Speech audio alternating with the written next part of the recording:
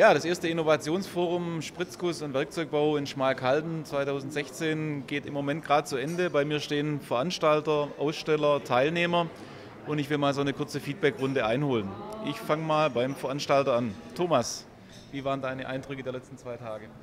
Also ich kann es nicht verhehlen, es hat einfach nur Spaß gemacht. Es hat Spaß gemacht, technisch im Detail abzutauchen und auf der anderen Seite hat es Spaß gemacht, viele bekannte neue Gesichter wiederzusehen als auch kennenzulernen. Also von daher von unserer Seite aus auf jeden Fall wieder machen.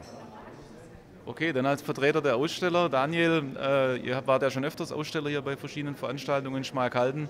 Äh, wie hat es dir diesmal gefallen bei dieser Auftaktveranstaltung, bei der Premiere vom Innovationsforum?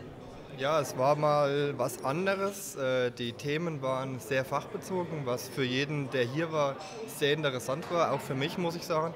Man hat immer wieder was gelernt, was auch wichtig ist bei solchen Veranstaltungen. Äh, abends sehr gutes Netzwerken, das ist auch sehr wichtig, wo man Leute kennenlernt, die man so sonst nicht sieht. Äh, und wichtig ganz einfach, äh, dass man auf, immer dran bleibt beim Ball und auch hier sieht, was in der Szene passiert. Herr Meissner, Sie haben sich als Student hier, als Absolvent schon die Wochenenden mit Vorlesungen und Klausuren um die Ohren geschlagen.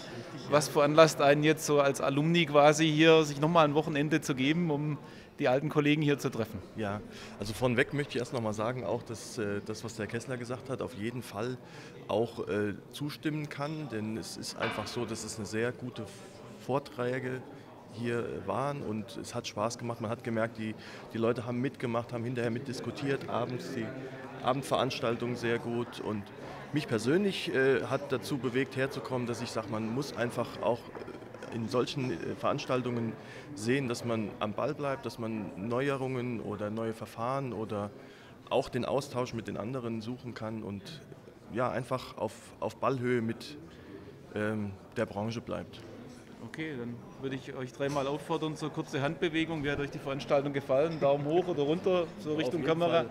Ganz klar, Daumen hoch. Schönes Wochenende. Dankeschön, vielen Dank.